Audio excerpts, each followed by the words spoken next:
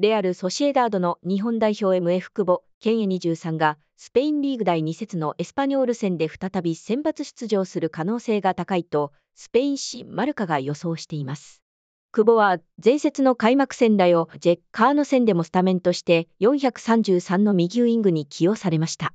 試合では後半に入ってスルーパスで見せ場を作るも、チームは12で敗北し、新シーズンを黒星でスタートしました。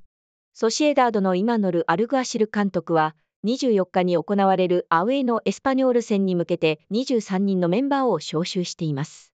久保をはじめ、オヤル・サバルやブライス・メンデスといった主力選手が順当に選出される一方、ザ・ハリャンやスベルディア、オドリオ・ソラ、バレネ、チアは怪我のため、ミケル・メリーノとカルロス・フェルナンデスは移籍が迫っているため、メンバー外となっています。マルカ氏の予想によると、久保は2試合連続で先発し、再び433の右ウイングに配置される見込みです。予想スタメンは GK にレミーロ、DF にはトラオレ、エルストンド、パチェコ、ハビロペス、MF にはブライス・メンデス、スビメンディ、トゥリエンテス、そして FW には久保、オヤルサバル、セルヒオ・ゴメスが名を連ねています。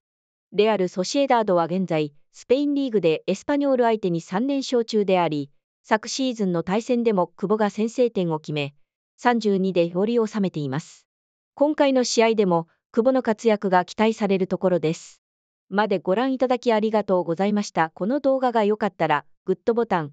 高評価をお願いします。チャンネル登録もよろしくお願いしますね。それではまた次の動画でお会いしましょう。